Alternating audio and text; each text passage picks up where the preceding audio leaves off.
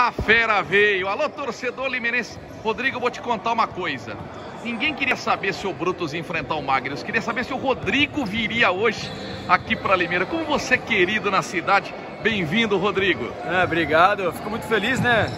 Eu também já fui desse outro lado, já quis ver as estrelas, então eu tenho todo um prazer, toda a vontade de estar em todos os jogos aí justamente para isso. Então, Capita está em Limeira para fazer um grande jogo aqui contra o Brutus. Rodrigo, você gosta de ser chamado de Capita? Porque onde você vai, olha o Capita, olha o Capita. Que nome que você tem no futsal, né? É, as pessoas gostam disso daí, né? É difícil você ser é, lembrado assim, então eu fico muito feliz e respeitado porque, pô, todo time tem um capitão, né? Aí você chega aqui, o pessoal, oi, capita, e aí tá, mas é legal, é um carinho, um respeito que eu adquiri no esporte, então eu fico muito feliz. Sabadão com sub-20 foi 9 a 3 e agora com os titulares, hein, Rodrigo? Pelo amor de Deus, esquema tático aqui vai ser em nome do Pai, do Filho e do Espírito Santo também, viu? Não, é, cada, cada jogo tem sua história, né? Tem seu momento. Eu acho que aqui vai ser completamente diferente, a gente já falou isso no vestiário.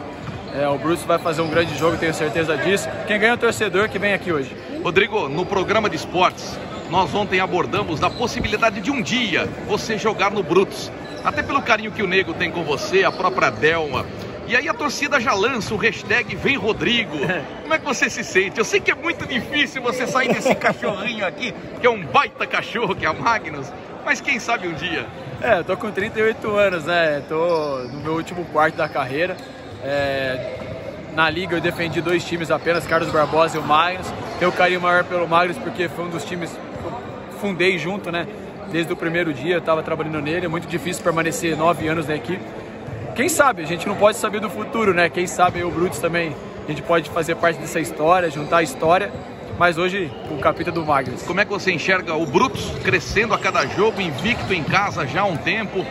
Você acompanhou todo esse crescimento, até pela amizade que você tem com os diretores? É, a gente acompanhou, você vê já que é uma estrutura muito mais profissional do que era no começo, né?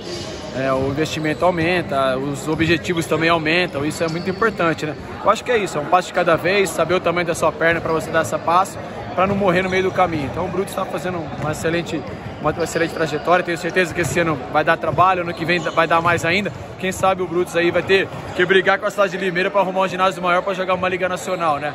Sonho tá aí para ser sonhado. Capita, mais duas colocações, prometo. Ontem a gente comentou, hoje o Magnus é a qual potência do Brasil? Primeira, segunda, terceira? Você como especialista no futsal? Ah, de investimento está entre os top 6 do Brasil, acredito nisso até porque a gente tem um trabalho muito forte na nossa base, né? Então não é top 1 nem top 2 por causa disso. A gente tem dentro da nossa casa grandes jogadores. É, como estrutura tem algumas coisas a melhorar, mas a gente acredita que está entre os top 3, top 4 do Brasil. E a gente tem que chegar, é o que eu falo, o time para ser lembrado tem que estar tá nas finais, entre os quatro sempre. E a gente está fazendo isso há nove anos, chegando entre os quatro. Então é isso, uma hora você papa, uma hora você perde, mas você tem que estar sempre na festa final.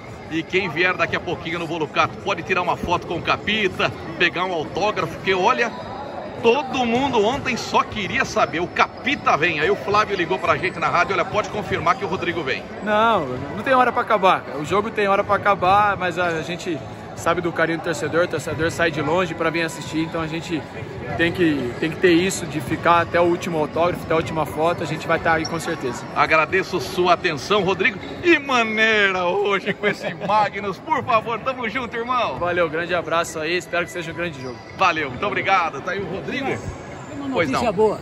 Opa, Vai. Brincadeira, lógico. Ah. Tem uma notícia aí que o Rodrigo tá com três cartões amarelos não vai jogar. Ah, puxa, seria bom. o Demir Nogueira dando um abraço. Valeu, Rodrigo.